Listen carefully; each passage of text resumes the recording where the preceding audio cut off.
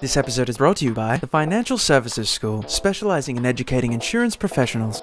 There has been, as usual, a significant amount of advertising on the TV from direct insurers, one of which has been making quite a big deal over a particular cover, suggesting you should insure with them as they cover you for, wait for it, 12 months of your accommodation costs should your property be untenantable following a loss.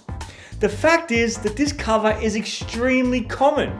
Using policycomparison.com, I did a quick search of this feature and found that the cover is so common to the point you could almost consider it a standard cover across the board for all home and contents insurance policies, with only very few exceptions. It should be noted that this cover is in fact limited to 10% of the building or contents sum insured. So there's no guarantee that you will even get your 12 months cover of temporary accommodation costs should your house remain untenantable for that period of time.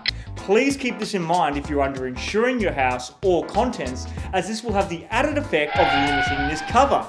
To me, this is just another reason to speak to an insurance professional as they can point out some real differences between policies, allowing you to make a truly informed mm-hmm. decision.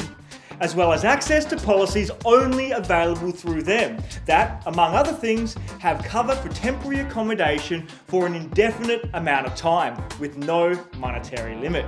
Perhaps even Captain Risky should speak to an insurance broker to get all the right advice.